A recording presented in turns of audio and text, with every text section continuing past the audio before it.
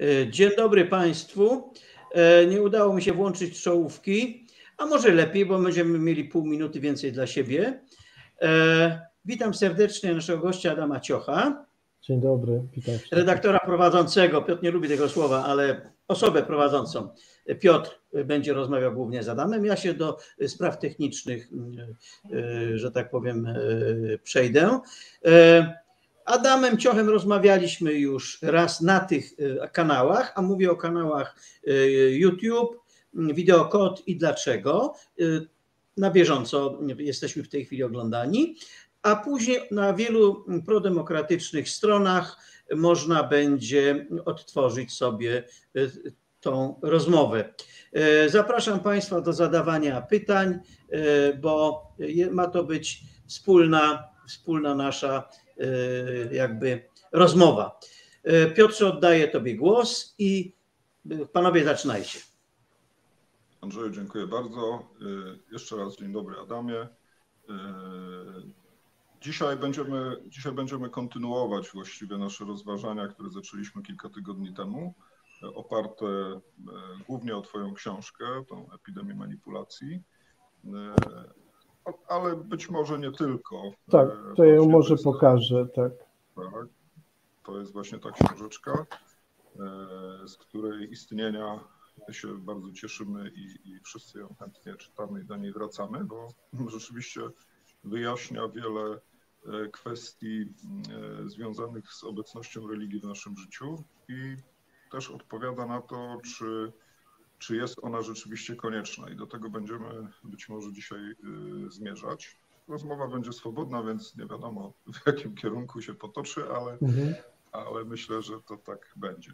Ja, ponieważ zbliżamy się y, dosłownie kalendarzowo, bo za tydzień mamy jedne z najważniejszych świąt, y, nie tylko w Polsce, ale pewnie i tutaj w całym tym świecie europejsko-amerykańskim.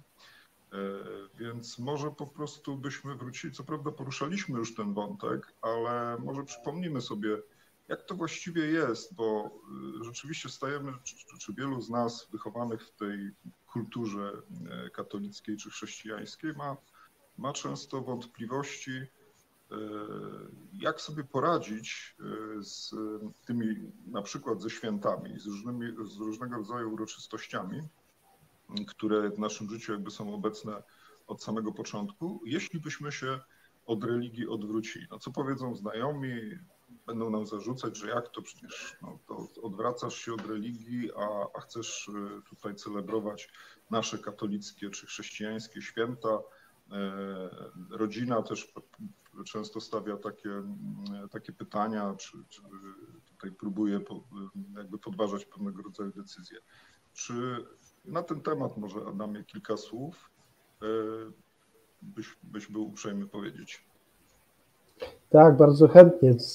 Pierwsze moje skojarzenie to takie, że jak patrzę w Twoją stronę, Piotrze, to widzę światełka za Tobą na oknie kolorowe i piękne, które bardzo zresztą lubię, bo uważam, że to jest cudowne, e, że w tym najciemniejszym okresie roku chociaż przez parę tygodni się świeci więcej niż zwykle, y, przez te długie wieczory i noce. I dzięki temu może jesteśmy mniej podatni na depresję trochę, niż byśmy byli bez tych świateł.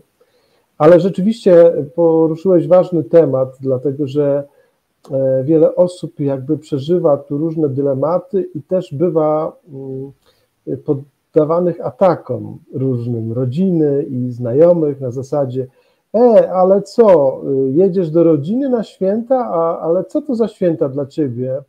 Przecież ty y, przecież nie obchodzisz, bo jesteś niewierzący, albo nie jesteś katolikiem już na przykład.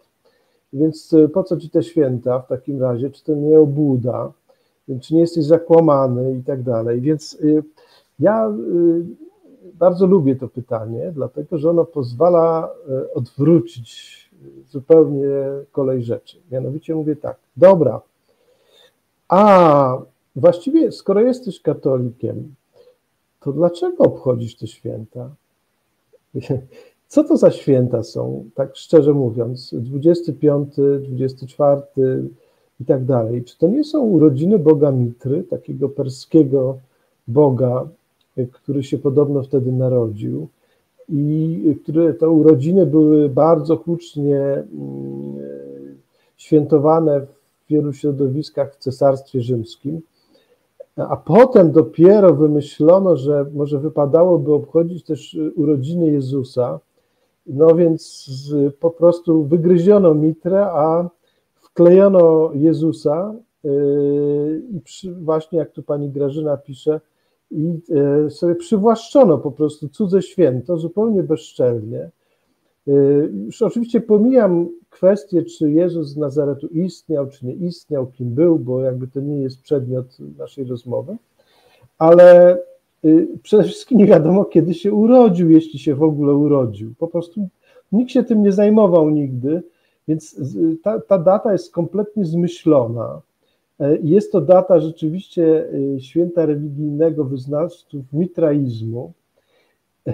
To tak w największym skrócie, ale przede wszystkim w naszym rejonie jest to też odwieczne święto i ono nie ma nic wspólnego ani z Jezusem, ani z mitrą. Ono ma e, coś natomiast wspólnego z świętem przesilenia zimowego bo te, te dni po 20 grudnia to są pierwsze dni, kiedy dzień przestaje się skracać i zaczyna powolusieńku się wydłużać. Czyli jest to, mówiąc w skrócie, zwycięstwo światła nad mrokiem.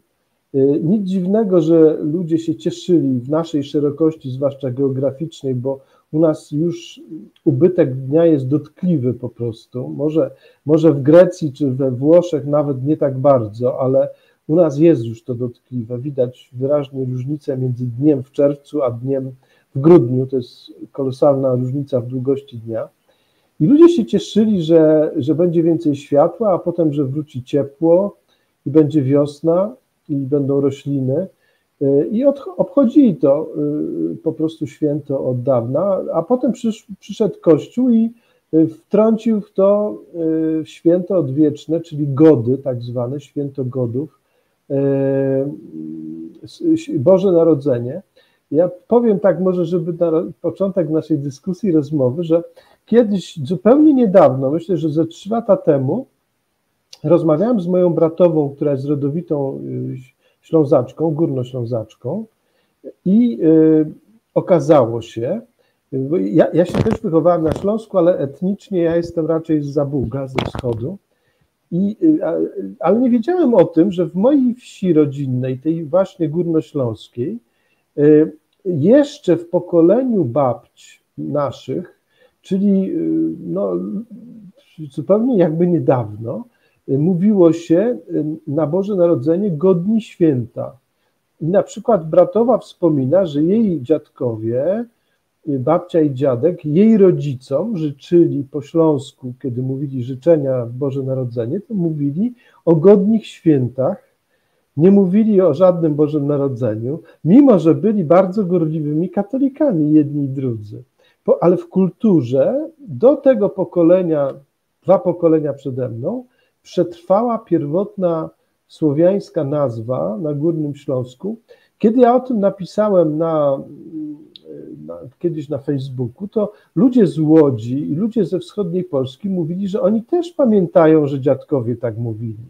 Czyli słuchajcie, święta pierwotne, te god, święta e, godowe, one w nazewnictwie do XX wieku, no tak, szczodrych godów życzono, pani Grażyna zauważa, e, to one przetrwały do XX wieku.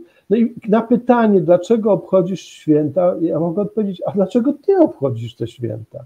To nie ma nic wspólnego z Jezusem. Po prostu przy, przykleiliście się do starych polskich świąt. No, no, jak się przykleiliście, to już dobrze, to świętujcie, ale nie czepiajcie się nas.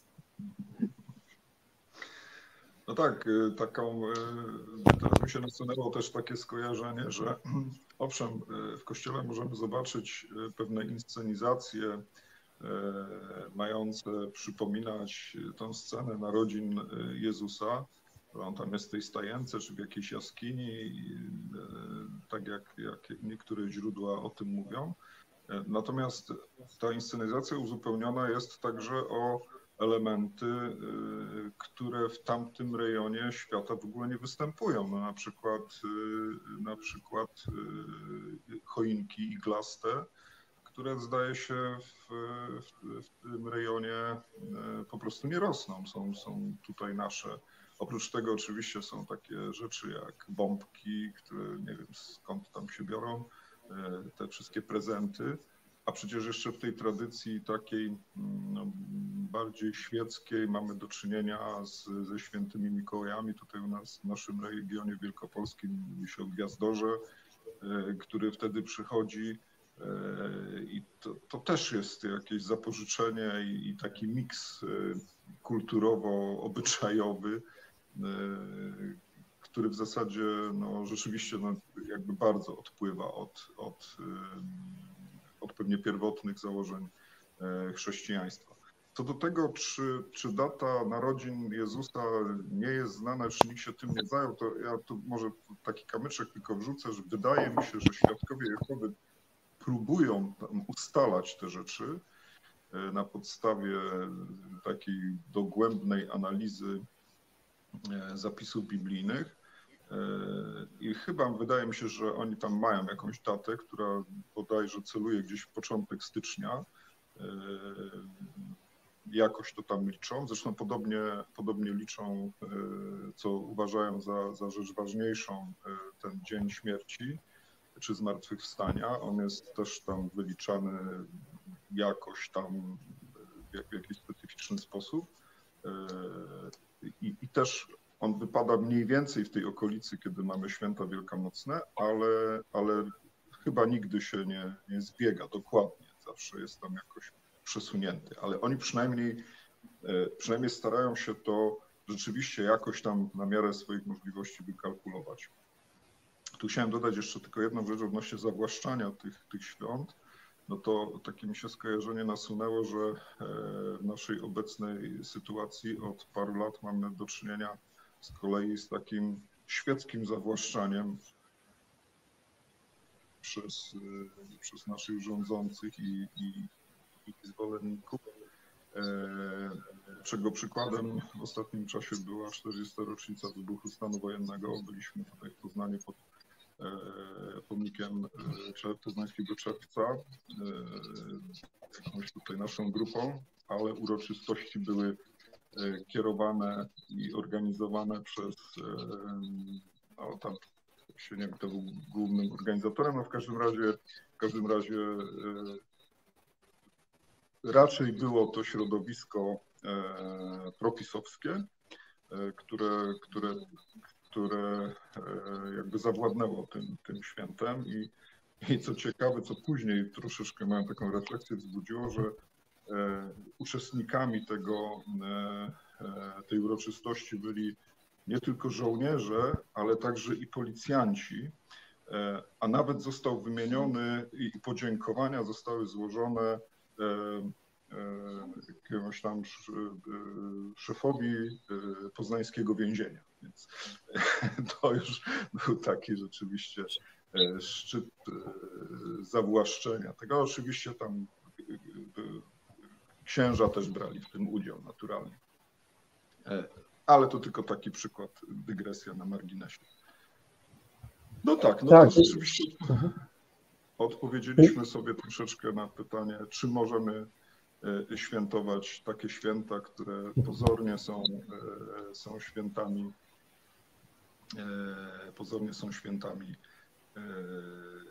po prostu religijnymi ale to, ta historia chyba jakby ma swoje korzenie dawno, dawno temu, prawda? Bo wtedy, kiedy chrześcijaństwo było ustanawiane przez Konstantyna tam w III czy IV wieku naszej ery, no to on też właściwie robił taki manewr przejmowania różnego rodzaju zwyczajów z różnych religii po to, żeby, żeby tym wszystkim ludziom, którzy zostaną w to wchłonięci, dać jakieś poczucie, że nie wszystko stracili prawdopodobnie. Nie? Tak, tak, tak, żeby się poczuli swojsko. Ale zanim po, będę kontynuował, to widziałem tutaj pani Beata nam zarzuca, że nie jesteśmy na ulicy w tej chwili.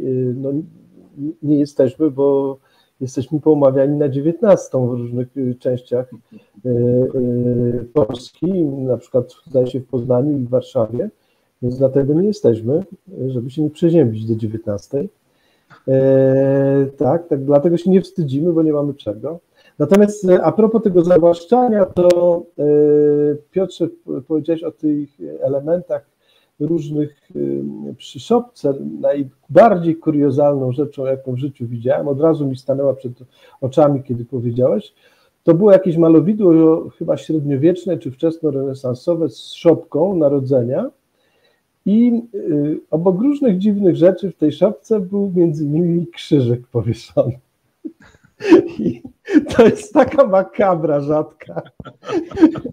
Krzyżyk nad główką dzieciątka to jest coś, coś przerażającego. Także, także to jest bardzo ciężka sprawa.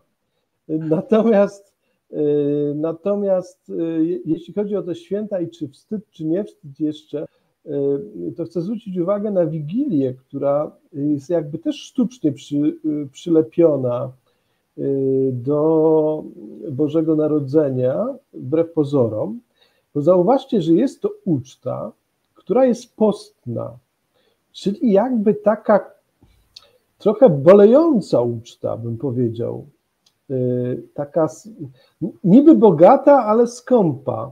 Więc, y, więc w tej sytuacji wydaje mi się, że zwrócenie uwagi na to, że Wigilia jest i to, to puste, y, y, puste naczynie dla, dla wędrowca niby, że to na, tak naprawdę to była uczta z przodkami, że to była, y, to była taka, takie posiedzenie z umarłymi członkami rodziny, rodu i stąd jej taki dziwny, postny charakter, więc to już w ogóle nie ma nic wspólnego z jakimś świętem. E, w rozumieniu e, chrześcijańskiej jakiejś radości, bo się dzieciątko narodziło. To była uczta, ale taka refleksyjna, bardzo, bardzo specyficzna.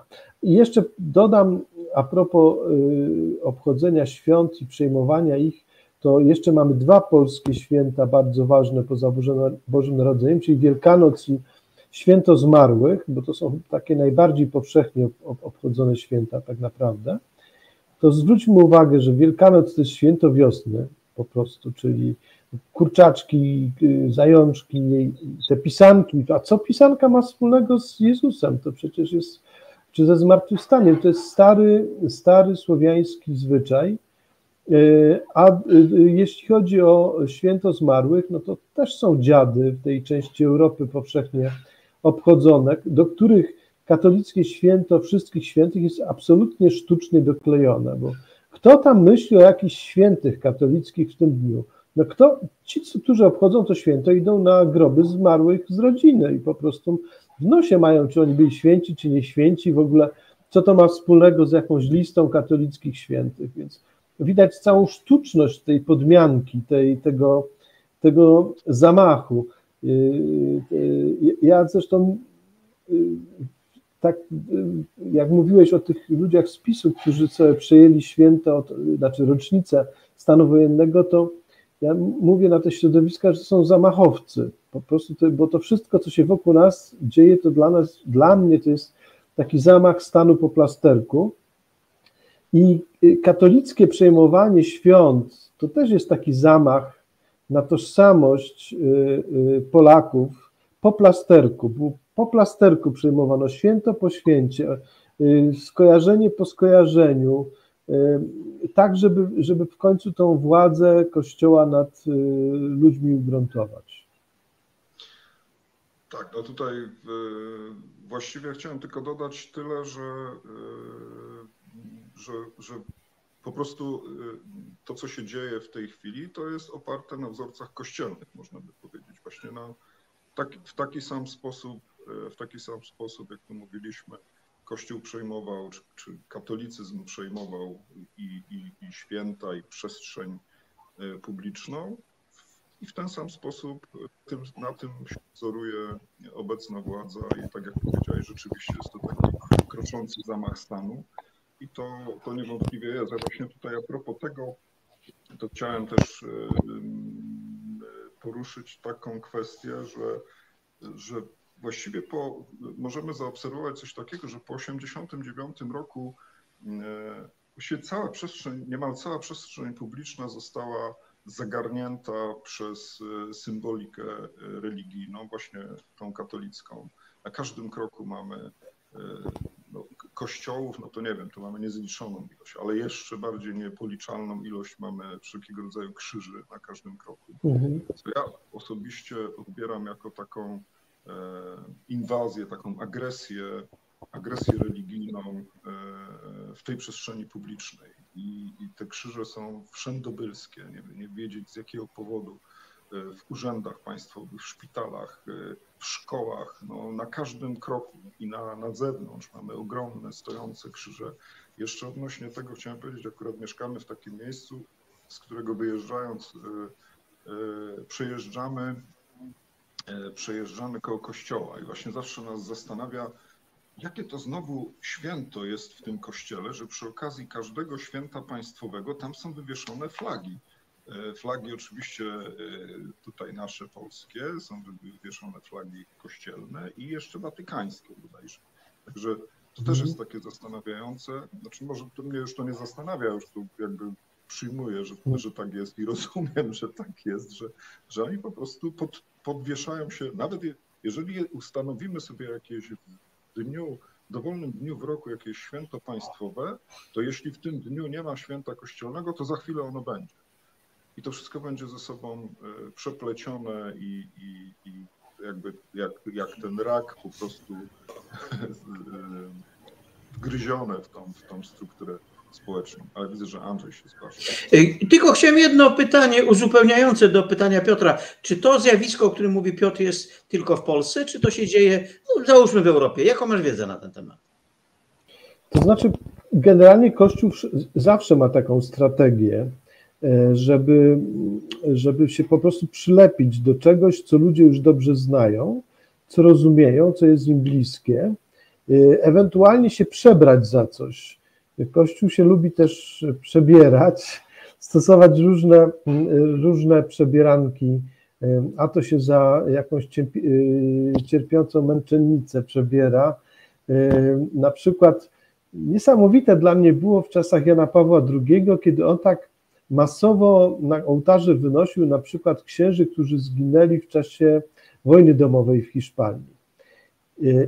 I, I, można by sądzić, właśnie to jest cudowna strategia kościelna, też która polega na zakłamywaniu historii, że, że ta wojna była jakoś wymierzona w Kościół, że Kościół był jakąś ofiarą. To jest zupełnie odwrócenie ról, po prostu to jest majstersztyk. Problem polega na tym, że w Hiszpanii był legalny, demokratyczny rząd koalicyjny, który się bardzo Kościołowi nie podobał, ponieważ on przyniósł różne społeczne reformy, y, w tym ograniczenie władzy, majątków kościelnych i tak dalej. I Kościół postanowił obalić ten rząd i z, razem z generałem Franco, czyli z tą taką najczarniejszą prawicą, Y, hiszpańską, dokonał zamachu, niezwykle krwawego. To było coś potwornego. Zaczęło się do rozstrzeliwania oficerów, którzy nie chcieli tego y, poprzeć.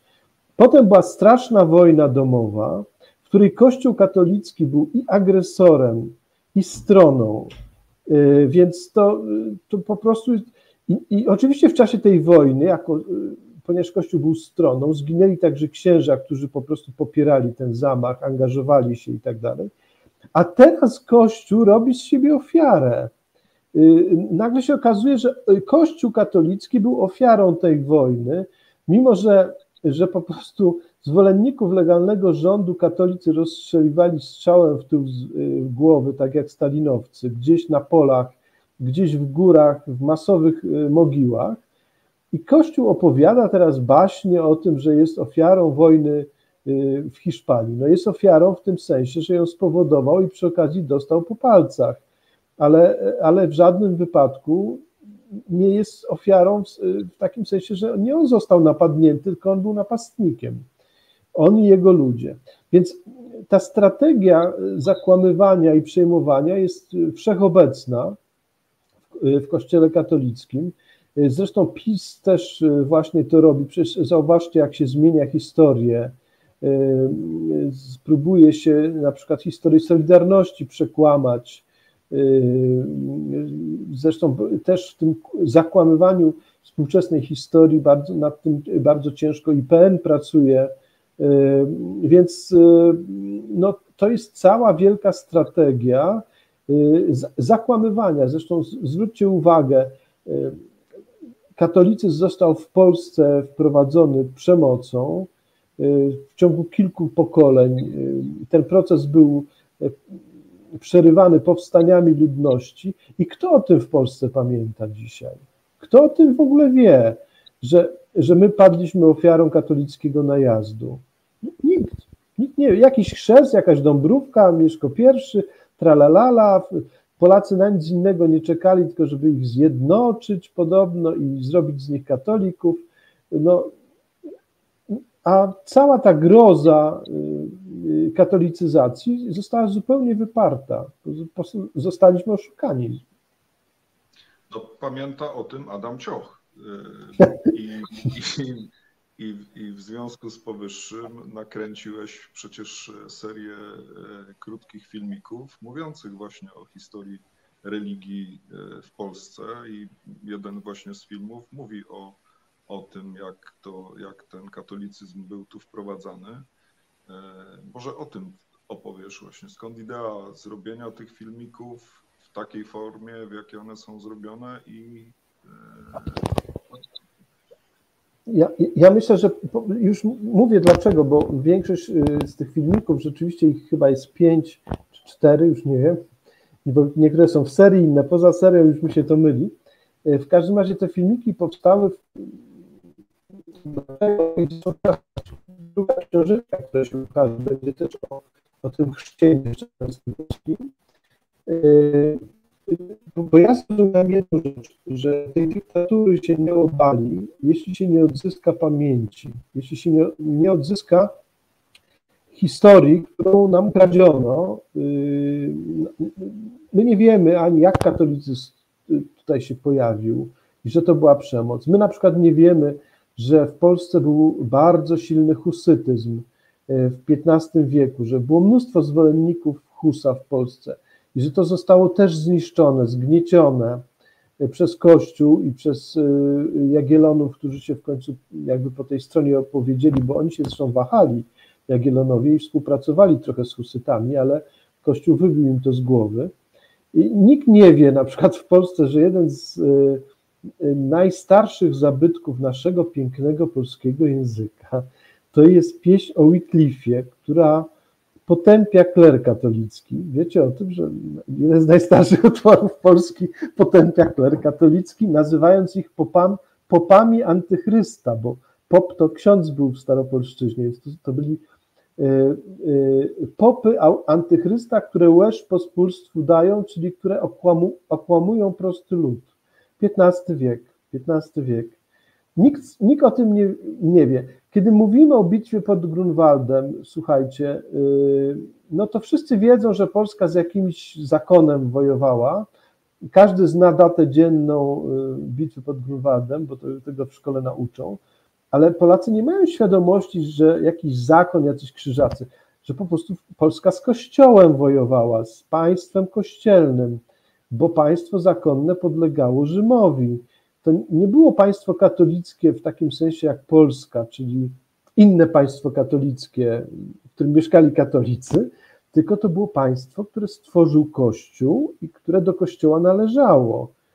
To nie, kiedy my teraz mówimy o krzyżakach, to pod wpływem też propagandy kilku ostatnich pokoleń mówimy o Niemcach. Krzyżacy tacy Niemcy i tak dalej. No to, to był zakon niemiecki, chociaż międzynarodowy, bo tam byli ludzie z różnych krajów. I na wojnę zresztą z Polską i Litwą to przyszła cała międzynarodowa koalicja, y, ale to, to była wojna państwa polskiego z państwem kościelnym.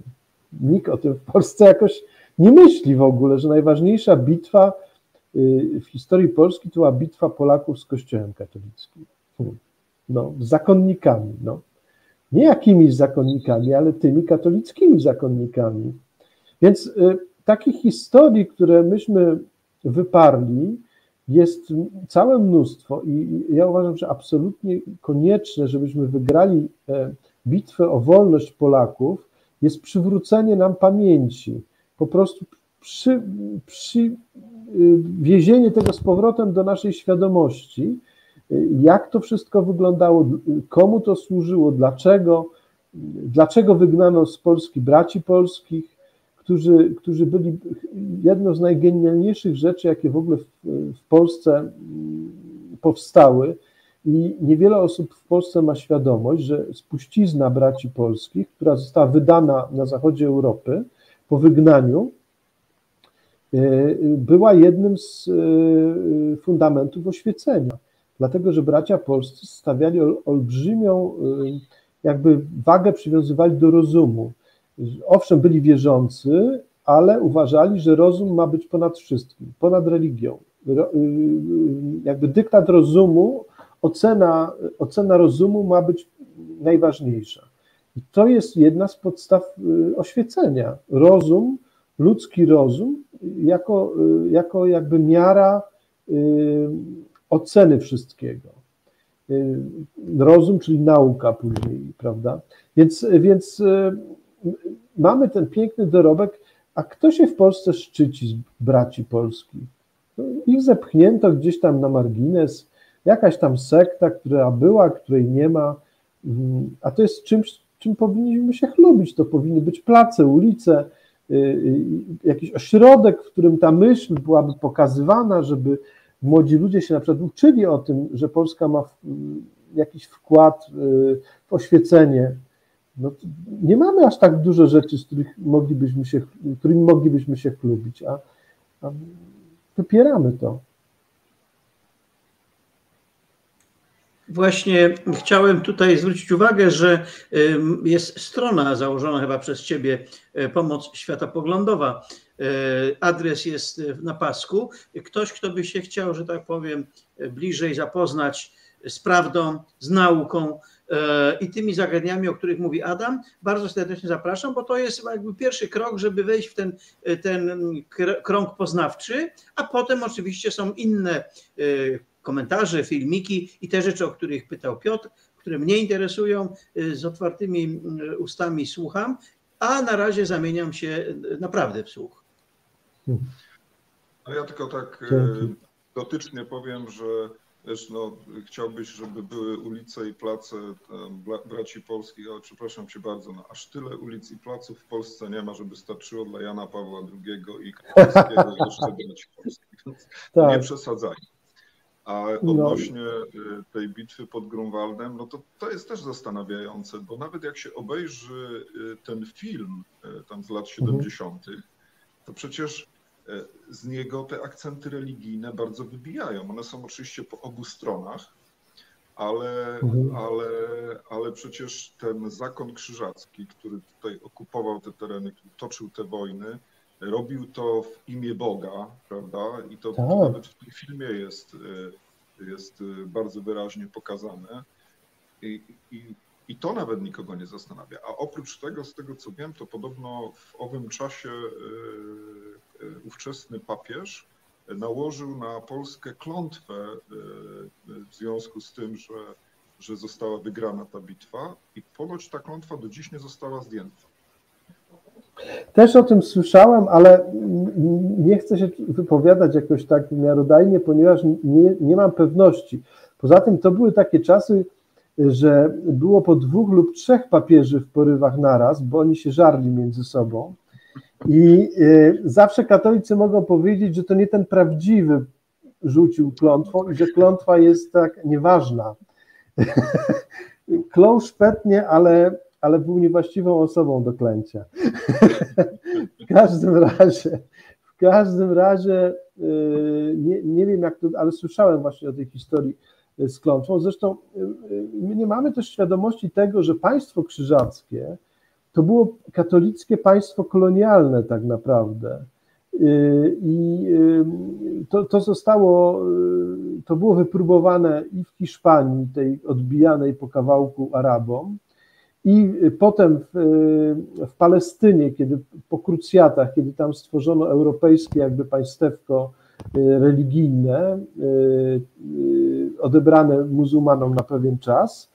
No i potem ten sam eksperyment robiono wśród Słowian i Bałtów, bo krzyżacy nie, nie wszyscy wiedzą, że się połączyli z zakonem kawalerów mieczowych, który działał na tak Łotwie, Estonii i powstało takie wielkie kolonialne państwo y, w tej części Bałtyku, właśnie mniej więcej od Gdańska aż po y, przed, przedmieścia Petersburga obecnego. No, wtedy go jeszcze oczywiście nie było. Y, w każdym razie to, to, była tak, to był efekt najazdu rycerzy katolickich, tych zakonnych, i po prostu próbowano tutaj nas kolonizować. Zresztą Litwa toczyła taką długą wojnę o przetrwanie, i jedyny powód dla Unii Polsko-Litewskiej to był to, żeby jakoś wytrzymać ten napór katolickiego państwa krzyżackiego. Więc, więc ten upiór kościelny w naszej części Europy sobie naprawdę na dużo pozwalał. Yy, przypomnę, że no Prusów podbito i z, jakby po kilku, po iluś tam pokoleniach odebrano im nawet język, który wymarł ale jest taki naród, o którym Polacy nie wiedzą, że żył w Polsce zwykle, yy, który zwymordowano po prostu yy, z ewangelizacją w tle. Yy, to byli Jaćwingowie. To był taki naród podobny do Prusów. On, on, on żył tak mniej więcej w dzisiejszym łomżyńskim, północnym Podlasiu. To był taki niewielki teren w północno-wschodniej Polsce i y, tak między jakby Prusami, Polską i Litwą, w tym, w tym takim y, trójkącie. I on został po prostu wymordowany. Nic z nich nie zostało. Nikt ani nic. Więc y, no, ten kościelny Holokaust tam jakby po raz pierwszy się pojawił.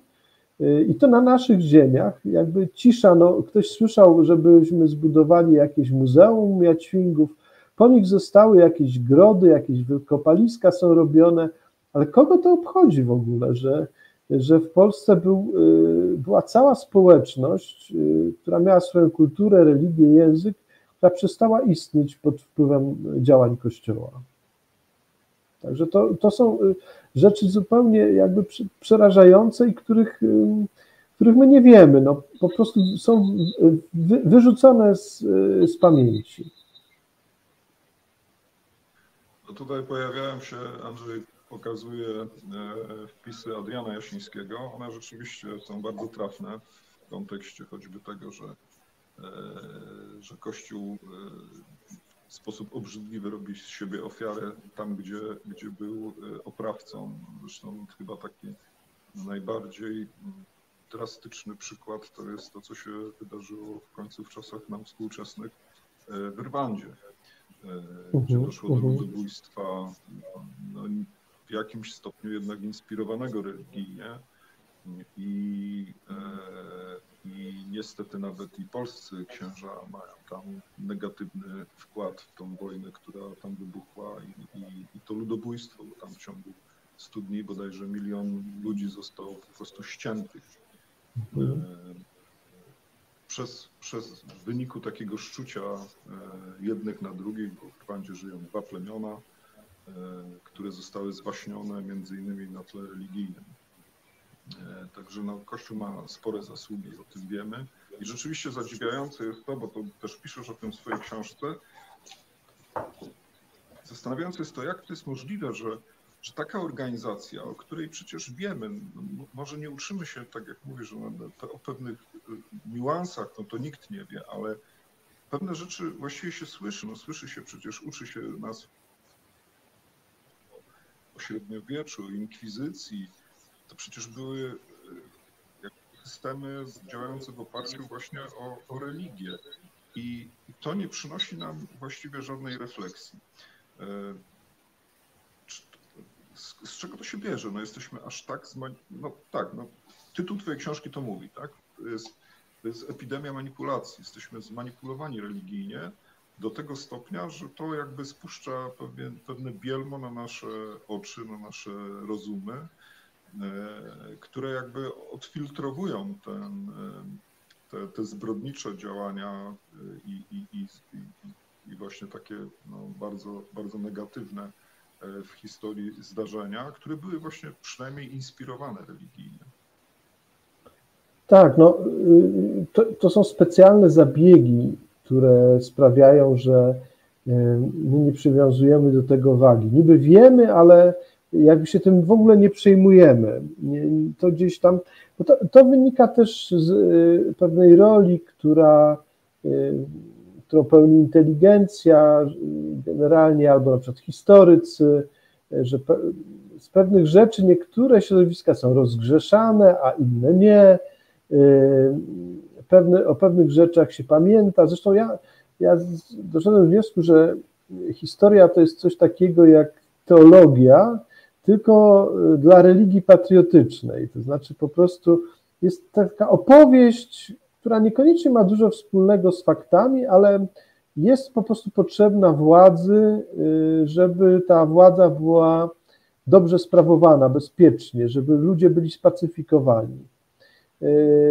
No, podam przykład, który będzie też e, tematem jednego z moich e, filmików, mam nadzieję, w niedługiej przyszłości. E, na przykład w czasie II wojny światowej Kościół był, jest jedną z instytucji, które nigdy nie zostały właściwie rozliczone. I mimo, że jakby zasługi w cudzysłowie dla dla y, powstania faszyzmu, jego utrwalenia się ze strony Kościoła są po prostu niewyobrażalnie wielkie.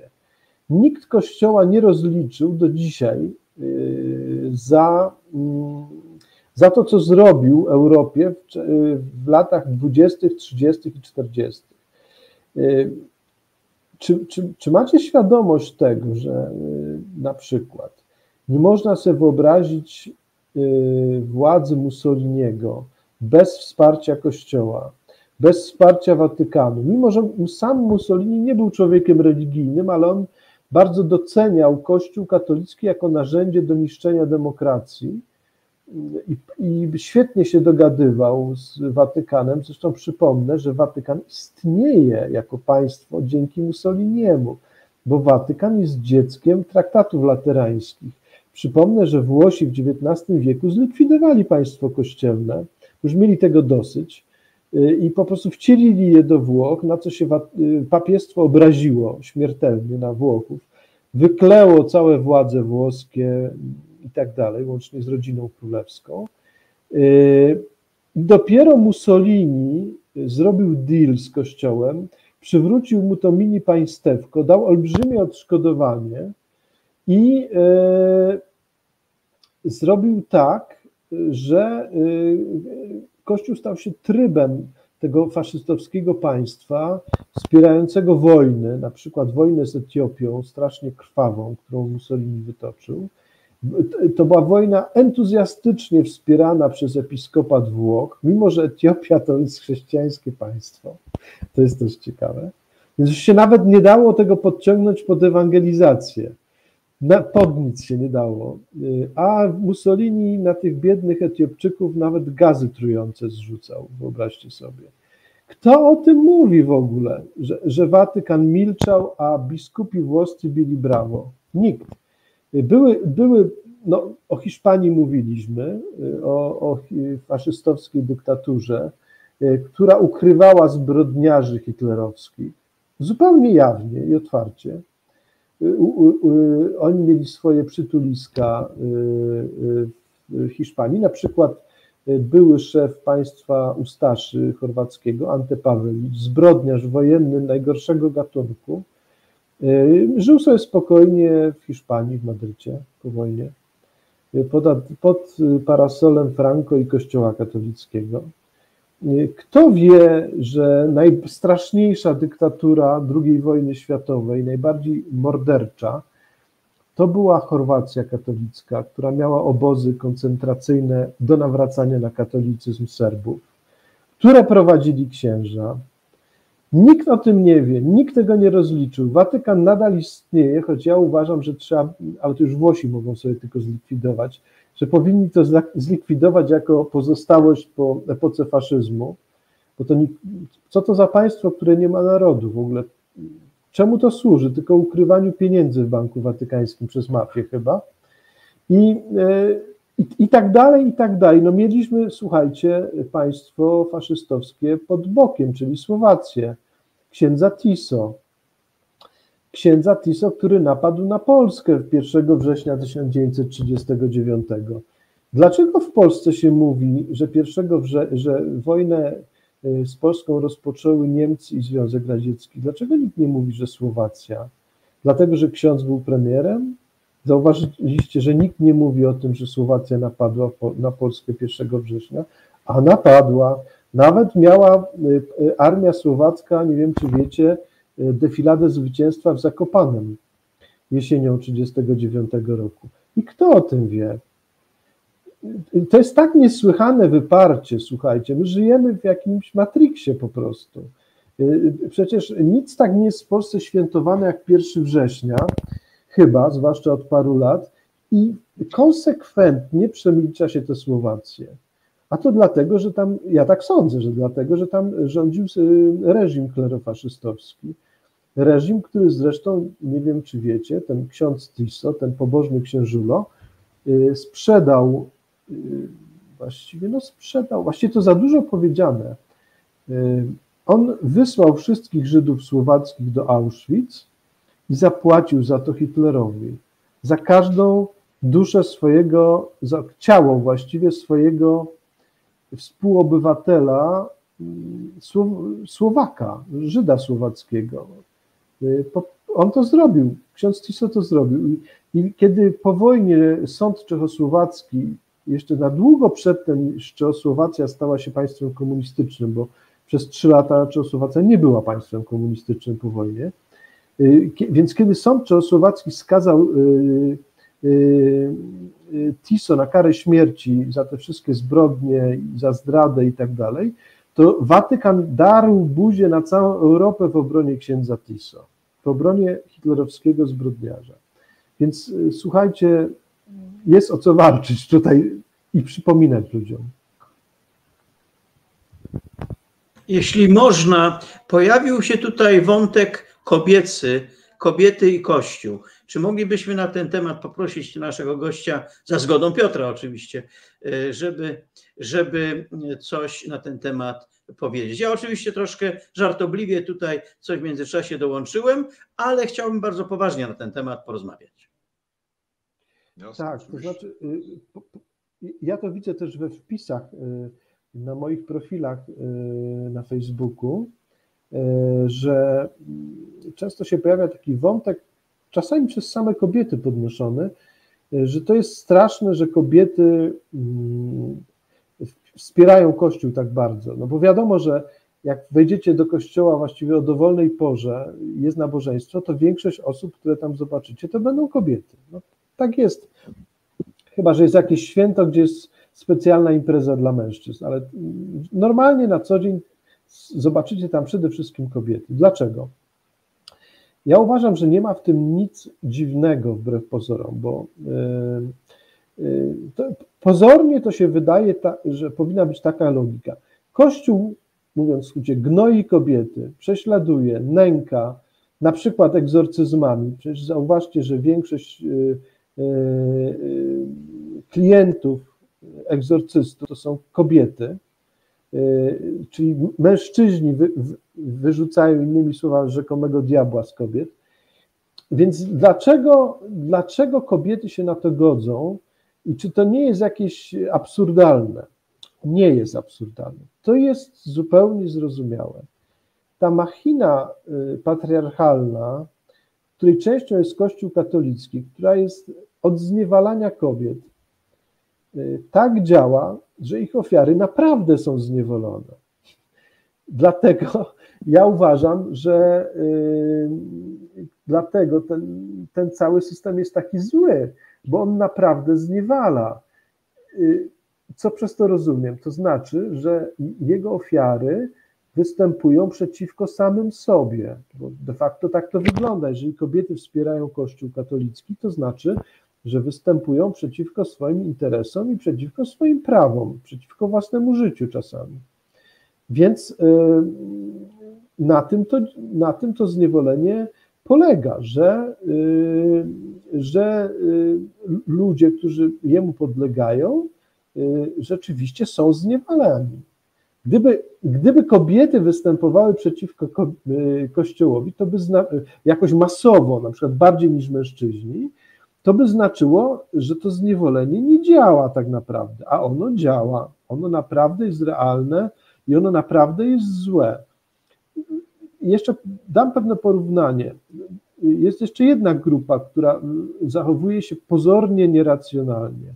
Na przykład y, ludzie LGBT, zwłaszcza geje i lesbijki.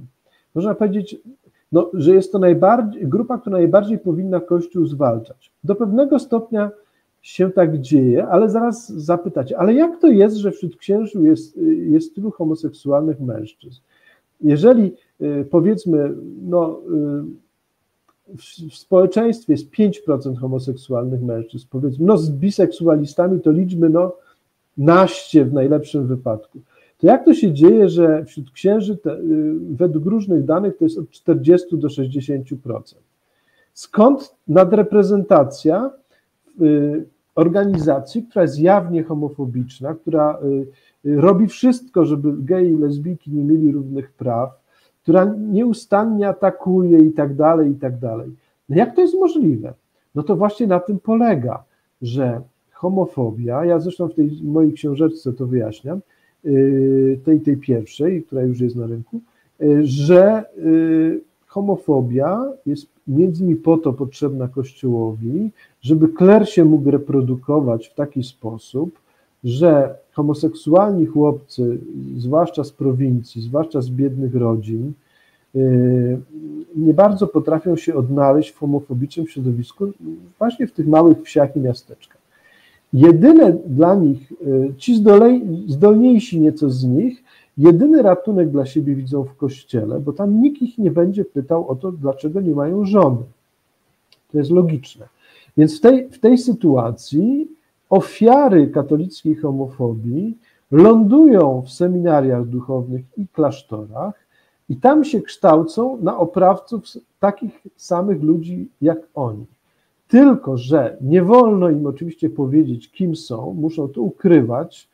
W ten sposób, a ponieważ tego się nie da nigdy idealnie ukrywać, e, e, łatwo nimi e, manipulować i ich szantażować, ponieważ Każda, sądzę, decyzja ma grubą teczkę na każdego księdza geja ze skargami, z jakimiś donosami i tak dalej, i tak dalej.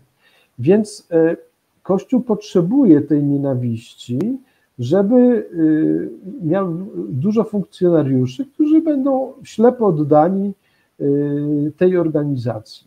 Więc jak ktoś pyta, no jak to jest możliwe, że jakby gej, prześladowani geje jakby wspierają Kościół, będąc księżmi, no to na tym polega. To jest tak perfidny system, że, y, że on omotuje swoje ofiary, tak, że te, na przykład te kobiety pójdą i tam oddadzą ostatni grosz y, y, temu księdzu, dla, dlatego że one się czują poddanymi po prostu. I, i, I w tym kościele znajdują jakąś pseudo pociechę, pseudo wsparcie, pseudo pomoc. Ja może Wam opowiem, bo być może się zbliżamy, e, nie wiem ile mamy czasu, a być może do końca, a, e, a być może nie, ale chcę, chcę to powiedzieć a propos kobiet. Mam znajomą, to jest e, historia prawdziwa. Mam znajomą, która przez jakiś czas w Warszawie była związana z kościołem, miała tam jakieś interesy, które ich łączyły z kościołem. No, wtedy też to, to, był okres, kiedy też praktykowała więcej, no i poznała wielu duchownych. Jeden z nich, taki młody, młody inteligentny ksiądz, bywał u niej na kawie. I przychodzi pewnego dnia, tak rozgląda się po jej mieszkaniu, y, bo to jest taka pani, która ma powiedzmy około 60 lat, i mówi do niej tak: Słuchaj, wiesz co, zróbmy tak. Ja tu dziś, ja tu w tym tygodniu do ciebie yy, przyjdę z notariuszem. Ty przepiszesz na mnie twoje mieszkanie, a ja się będę tobą zajmował. Nic się nie martw, jesteś w tym mieście sama, może się czujesz jakaś taka nie za bardzo, nic się nie przejmuj, my się tobą zajmiemy, Kościół się tobą zajmie. Ja przyjdę niedługo z notariuszem, co ty na to? I ona yy, podziękowała mu, już nigdy nie odezwała się do niego, no na tyle była trzeźwa i przytomna, żeby tego numeru nie zrobić. Ale, ale czujecie sprawę, prawda? Znalazł sobie ofiarę, y, myślał, że, że da się omotać, y, że, że połknie haczyk. Ja tylko się zastanawiałem po, tym, po tej historii, ile on już takich kobiet ma upolowanych. Ile ten wilk, że tak powiem, już y, owiec wyniósł do swojej spiżarni. Więc to, to tak działa niestety, że zniewolenie naprawdę zniewala. No, dzisiaj y, dosyć często słyszę takie nawoływanie, żeby w tym roku jednak przyjąć księdza po kolędzie, bo może mieć czasami jakieś tanie działki na sprzedaż. Ale myślisz narkotykowe? Nie. O ziemię. Nie o ziemię chodzi. Tutaj no, czołowi nasi, myślę... prawda, politycy mają takie, takie akcje na swoim koncie i na tym bardzo dobrze wyszli w związku społecznym. Może rzeczywiście jest to jakiś powód, żeby go wpuścić.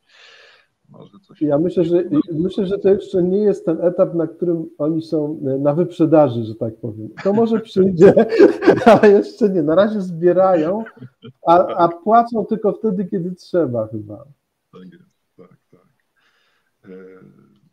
E, nie wiem, czy to jest dobry, e, dobry moment, ale już w poprzedniej naszej rozmowie chciałem się posłużyć takim cytatem e, z książki Elizy Michalik pod tytułem Szpile. To jest ta książka. Mhm. Co prawda, już poprzednio troszeczkę daliśmy też przytyczka w nos także protestantom, ale myślę, że, mhm. Że jest tutaj trochę takiego, w tym tekście jest troszkę takiego, takiej pozytywnej myśli, bo trochę tego Adamie dotknąłeś, mówiąc o tych braciach polskich, że oni tam właśnie stawiali na wiedzę, na, na rolę rozumu i tak dalej.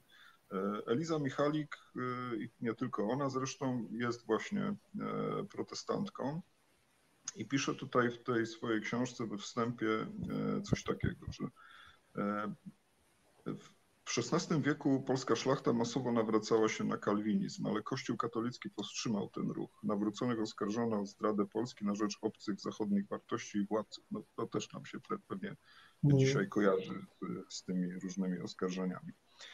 I pisze tak, potrzebowaliśmy i wciąż potrzebujemy reformacji. Dziś widać, jak bardzo przydałaby nam się jej, jej wartości. Wiara, która nie wojuje z rozsądkiem, rozdział państwa i kościoła. Uczciwość i ciężka praca, której owoce nie są trwonione, ale pomnażane. Wolność duchowa, swobodna, swoboda interpretowania świętości. Protestancki duch mógłby zmienić Polskę. O świętościach też moglibyśmy jeszcze porozmawiać, bo to też jest ciekawy temat. E, i tutaj cytuję jeszcze, podaję jeszcze coś takiego. Protestantami byli ojciec naszej literatury Mikołaj Rej, o czym też przecież się nie mówi, i ojciec myśli politycznej Andrzej Frycz-Modrzewski. Kalwińskie wychowanie utrzymał największy ówczesny polityk Jan Zamojski. E, I teraz, e, I teraz tak, e, a mimo to dzisiejsza Polska o protentastizmie nie wie prawie nic. Po części dlatego, że książki Lutra, Kalwina i innych reformatorów znalazły się na kościelnym indeksie ksiąg zakazanych. Zresztą przez wieki na tym indeksie znajdowała się także Biblia. E, I w wielu katolickich krajach jej posiadanie oznaczało podejrzenie o herezję. Myślę, że to coś w tym prawda jest. Nie? I tu jeszcze jest, ona podaje w którymś momencie taką myśl, że w zachodniej Europie e, ta reformacja została przeprowadzona. No i tak się składa, że kraje, w których ona się rzeczywiście skutecznie odbyła, są na zupełnie innym poziomie rozwoju niż te, w których to nie przeszło. E, a to między innymi też dlatego, o czym zresztą też piszesz w książce, że na przykład pastor protestancki nie jest jakby władcą na Włościach, tak jak e, proboszcz w swojej parafii, tylko jest sługą tej społeczności. On jest wybierany przez tą społeczność, jest przez nią opłacany. E, I jeżeli się źle sprawdza, no to jest po prostu odwoływany. Mhm. E, I to, to jest jakby też taki czynnik, który stawia nas w tym drugim szeregu rozwoju, no bo niestety i, I, rzeczywiście chyba tak jest, jak się na to patrzy, że Polska jest jednym, jedną z ostatnich ostoi e, takiego twardego katolicyzmu. I może stąd, e, że, że rzeczywiście mm, ten kościół czuje się mocno zagrożony. Są takie, e, pojawiają się takie głosy o tej rechrystianizacji Europy, prawda, tutaj właśnie od nas, tu z, z głębi serca tego, tego katolicyzmu. I, e, I może dlatego właśnie e, znajdujemy się w takiej, a nie innej sytuacji. No, zgadzam się, że, że mm, z takiego historycznego punktu widzenia to dla Polski byłoby znacznie lepiej, gdyby była protestancka niż katolicka z wielu powodów, e, właśnie tych, o których mówiłeś. I chcę jeszcze tylko tak jakby podjąć ten temat tej, tego pastora i tej parafii protestanckiej. Otóż dla wielu y, w Europie duże znaczenie miało to, że parafie protestanckie do pewnego stopnia uznawały proces demokratyczny przez stulecia, jakoś tam. Y, w niektórych kościołach lepiej, w niektórych gorzej, ale, ale tak było. I to nauczyło ludzi tego, że ich głos coś znaczy, że warto się angażować, że jeśli ja chcę coś powiedzieć, to mnie wysłuchają, że y, możemy coś razem zrobić, że pieniądze, które zbierzemy, będą pod wspólną kontrolą i będą rozliczone, nie, nie pójdą gdzieś tam nie wiadomo dokąd. Y, więc to uczyło takich mechanizmów demokratycznych, mechanizmów kontrolnych także, a przede wszystkim y, mi się wydaje, budowało w ludziach takie poczucie, że oni są kimś i że coś znaczą. I to jest absolutnie konieczne, e, żeby, żeby demokracja się udała. Tymczasem katolicyzm uczy czego? Uczy tego, że należy na komendę klękać, wstawać, klękać, wstawać, mówić churalnie i że uczy tego, że nic od ciebie nie zależy, bo y, jeżeli chcesz zmienić swojego proboszcza, to ty możesz ewentualnie e, pisać jakieś e, pisma do jaśnie wielmożnego pana biskupa, który się zgodzi lub nie, jak będzie miły. Natomiast ty nie masz prawa go odwołać. E, kościół parafialny nie jest wbrew pozorom własnością parafii, on jest de facto własnością diecezji. W związku z tym y, biskup w razie czego może kościół, który ludzie zbudowali z własnych składek y, i własnymi rękoma, y, biskup może nawet sprzedać. Zresztą budzą się z tym katolicy na zachodzie, kiedy przychodzi do płacenia długów po procesach pedofilskich i diecezja mówi na przykład, no to część budynków sprzedamy, żeby zapłacić te długi, a ludzie mówią, ale jakie długi, my nie mamy długów, a nie chcemy, żeby e, za pedofilów e, płacono z naszych pieniędzy. A decyzja mówi, a co nas to obchodzi? Po prostu zrobimy to, co możemy i co chcemy i siedźcie cicho. Będziecie chodzić do kościoła w sąsiedniej parafii, a wasz kościół zostanie sprzedany.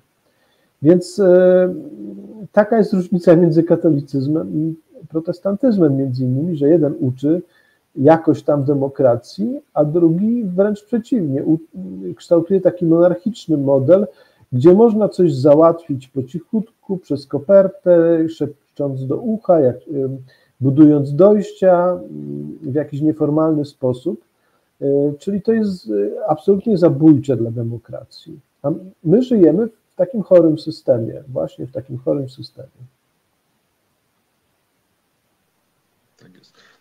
Teraz przyszła mi do głowy jeszcze taka myśl, może e, z innej troszeczkę, z innego nurtu, no ale ciągle trzymając się tego, tej, tej głównego tematu naszej rozmowy, że w zasadzie chyba trudno jest powiedzieć o katolicyzmie, że to jest religia mono, monoteistyczna, bo przecież oprócz bóstw takich jak Jezus i, i, i Maria, istnieje cała rzesza świętych, którzy są no może nie równi, no ale jednak są bóstwami, czyli tam nie ma jednego Boga tak naprawdę.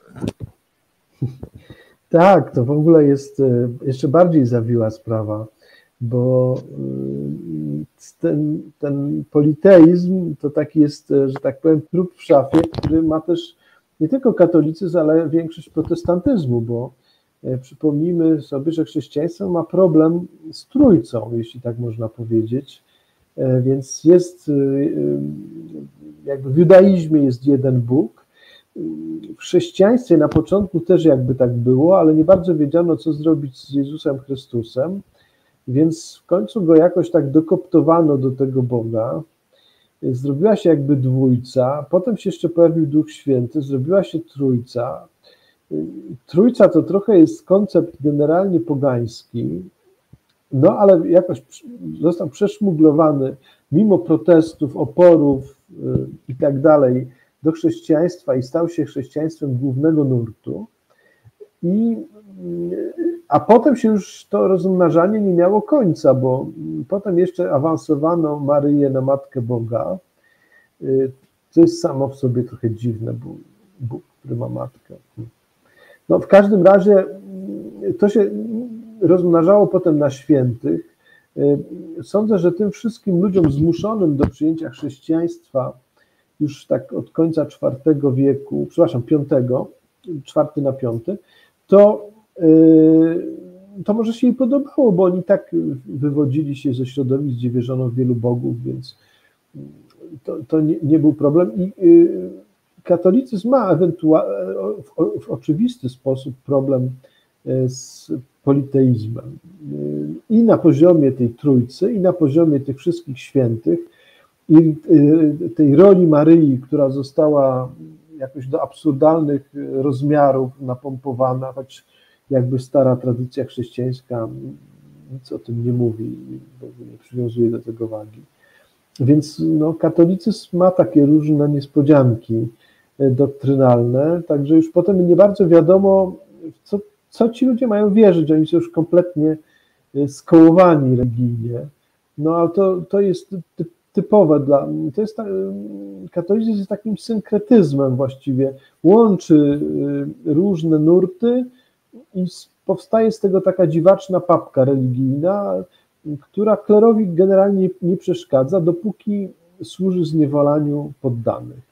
Bo właściwie w katolicyzmie o to chodzi, żeby siedzieć cicho i robić to, co każą. No i to y, wydaje się być konsekwencją tego tematu, o którym mówiliśmy już poprzednio, właśnie zmiany e, brzmienia treści dziesięciu przykazań, prawda? Bo tam tak. drugie przykazanie o robieniu sobie wizerunków tego wszystkiego, co jest na ziemi, w niebie i w wodzie i oddawaniu temu czci, e, ono, ono o tym mówiło i zostało pierwotnego dekalogu. I na bazie tego można e, tych, e, po pierwsze można kręcić biznes e, figurkowy, mhm. a po drugie można powoływać coraz to nowych bożków, którym trzeba oddawać cześć. Trzeba, czy można, a przecież tak, no i to, preambuła, przecież preambuła do dekalogu mówi, że jestem Bogiem zazdrosnym i nie będziesz miał żadnych innych bogów przede mną, prawda?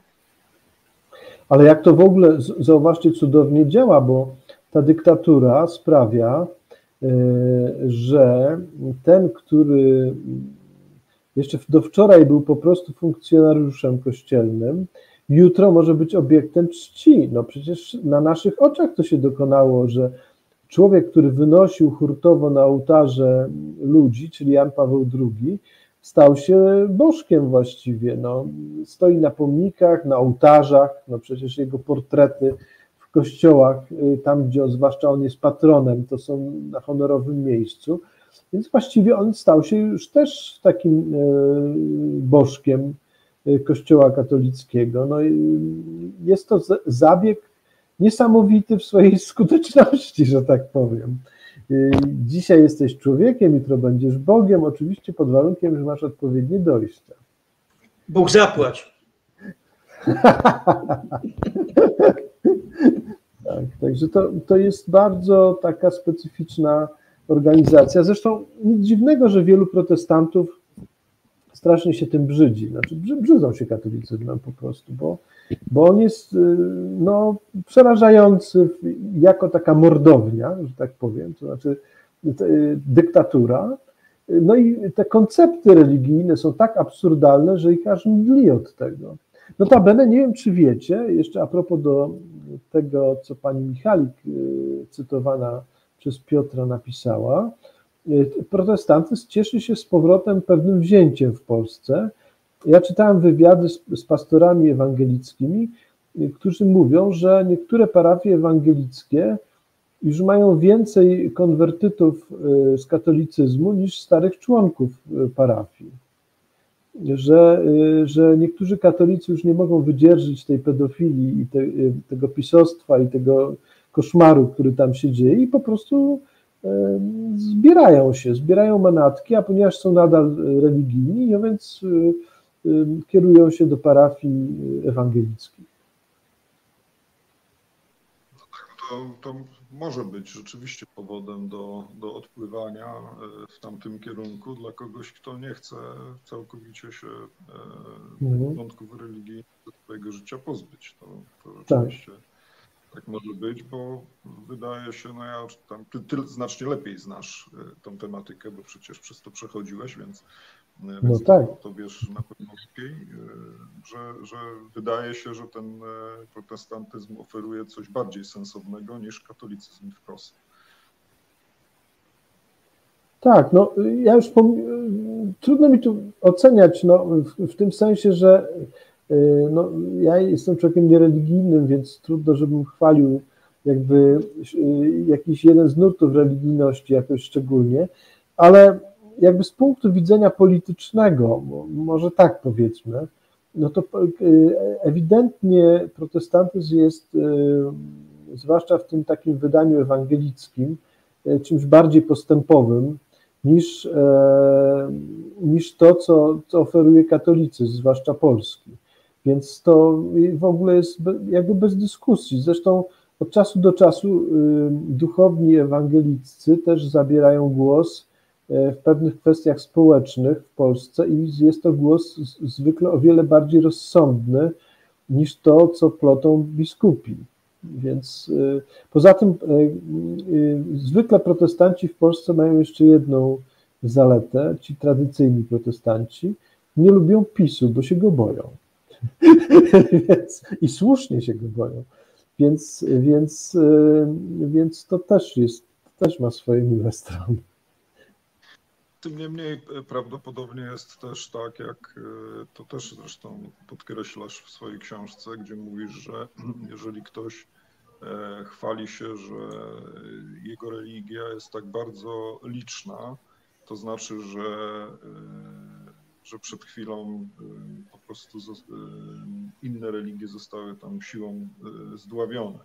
Więc idąc tym tropem, można by powiedzieć, że jeżeli więcej ludzi odpłynie do takich nurtów, jak na przykład protestancki, no to z czasem one też się staną czymś zupełnie innym niż są dzisiaj, no bo na tym to chyba polega, że najpierw trzeba czymś przyciągać ludzi, jak już się ich zbierze odpowiednio duża ilość, że zaczynają mieć przewagę, no to wtedy można zacząć tę przewagę wykorzystywać.